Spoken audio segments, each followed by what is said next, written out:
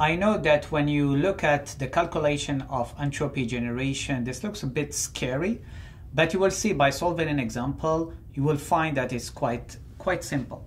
So the example we'll have to solve is the following. So what do we have? We have methane, CH4, gas, so it's in a gas phase, enters a steady flow adiabatic combustion chamber at 25 degrees C and 1 atmosphere, okay? It is burned with 50% excess air that also enters at 25 degrees C1 atmosphere. Now, assuming complete combustion and an adiabatic flame temperature or a maximal temperature of 1789 Kelvin, what we have to determine? We have to determine the entropy generation. So here is the chemical reaction with 100% theoretical air for our CH4, and here is the actual one with our 50% excess air. The other thing that we know, we know that the adiabatic flame temperature is 1789 Kelvin. What we are looking for, we are looking for entropy generation. So we know now that S generated is simply equal to S of the products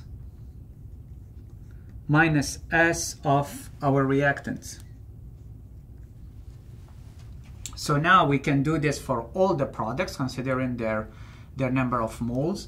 So this is the summation over all our products of the number of moles of each product cross S small s bar of each product minus the summation over all our reactant of the number of moles of each reactant cross S bar for each reactant, okay? You remember that now since we are talking about products and reactants, so therefore we are typically, let's say for the products, talking here about a mixture of gases.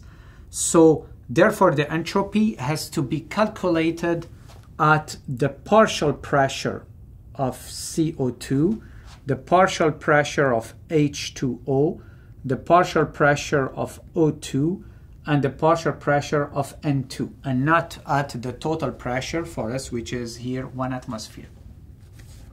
So then basically the rest is really like the next step is just to apply the formulation that we introduced telling us that if you would like to get the entropy of one component, okay, it's equal to what? It's equal to the number of moles cross SI bar, which is this one, and this one depends on the temperature and its partial pressure PI. Okay, this is extremely important.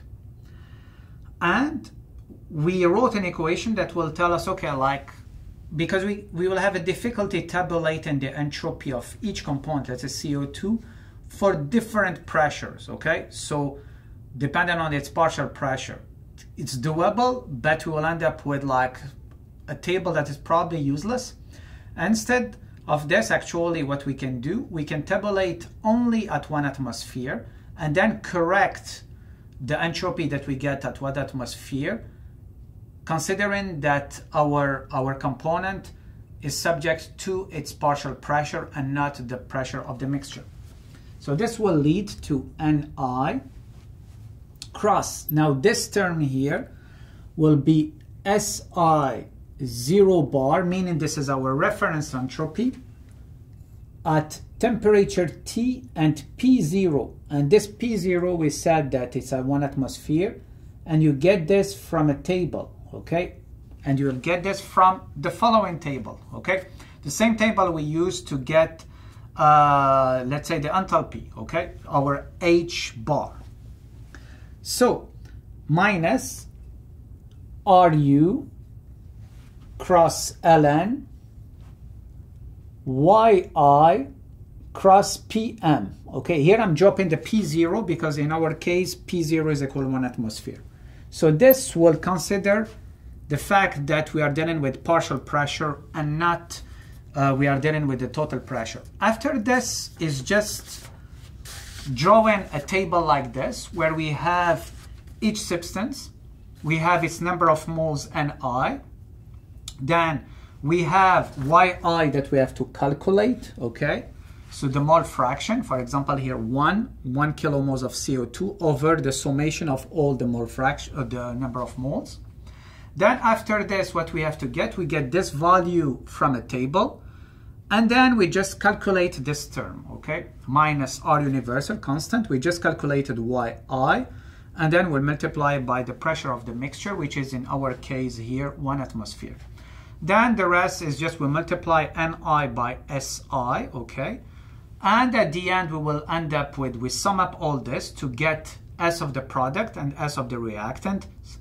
We subtract them, and this will lead to the value of S generated that we will get for this example, S generated will be equal to 966.02 kilojoules per kilomoles Kelvin. Okay.